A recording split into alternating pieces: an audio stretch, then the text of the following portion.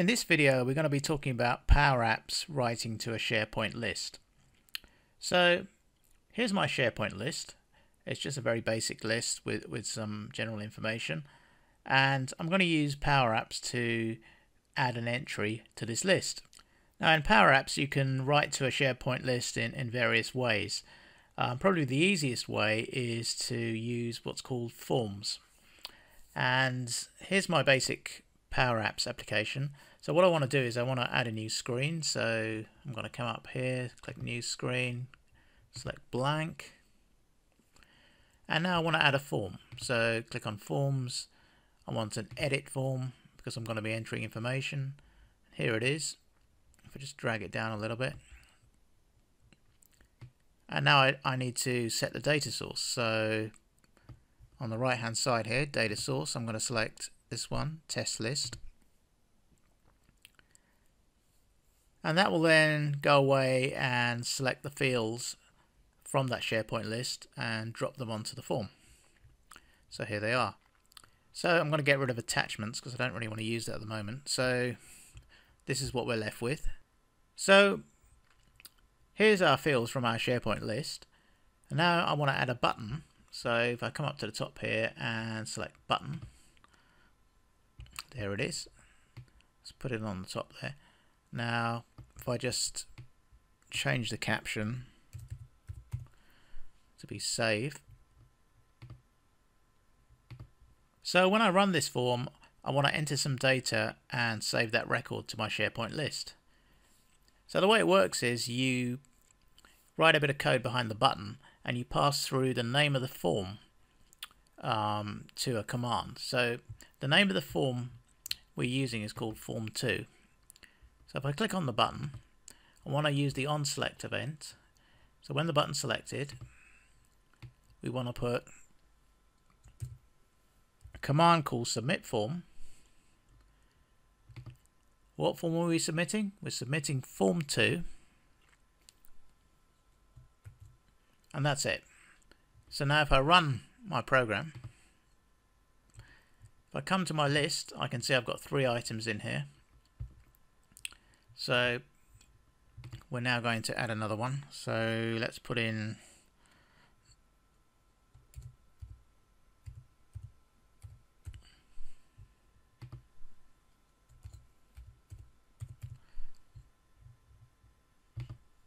Sharon Jones, age 23, female, department, human resources, address,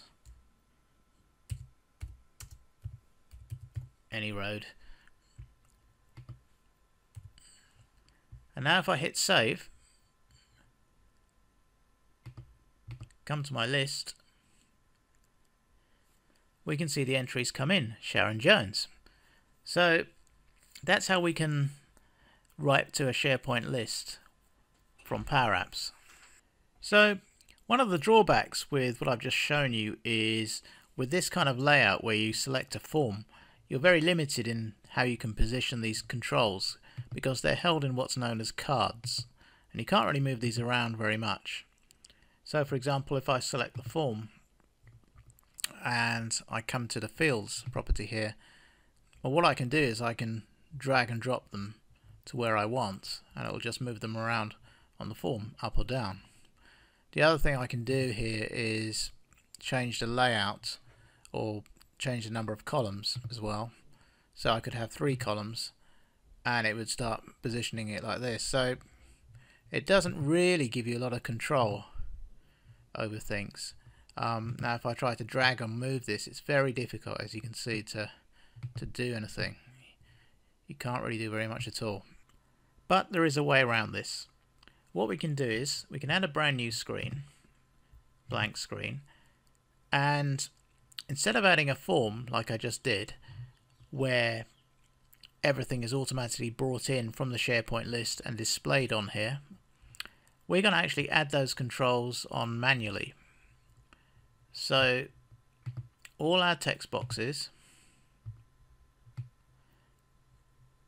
all our labels, all our combo boxes, we're going to manually select them and we're going to give proper names to them as well.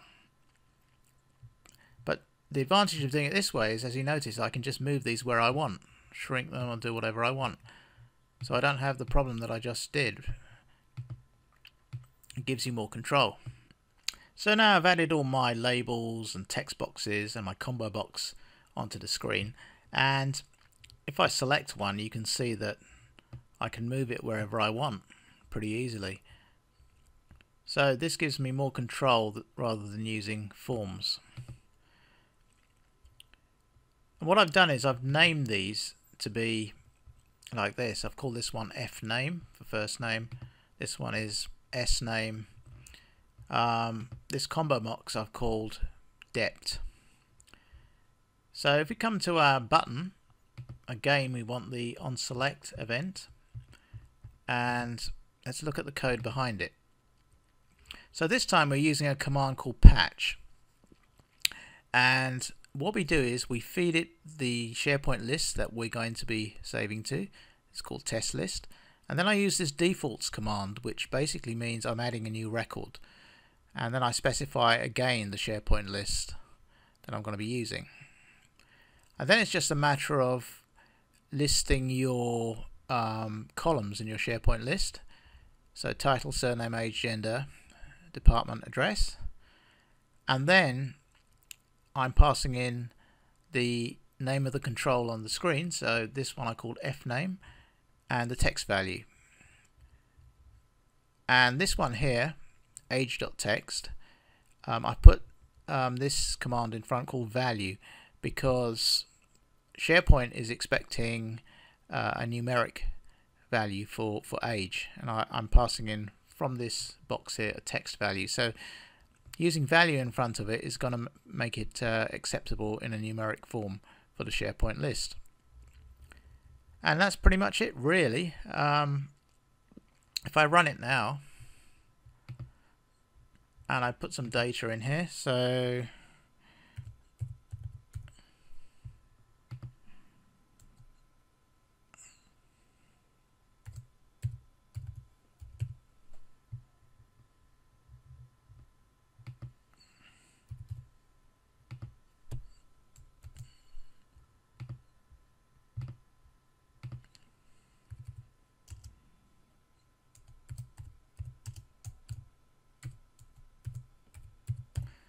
So when I'm on the road, so in my list I have these four records currently. So now if I hit save,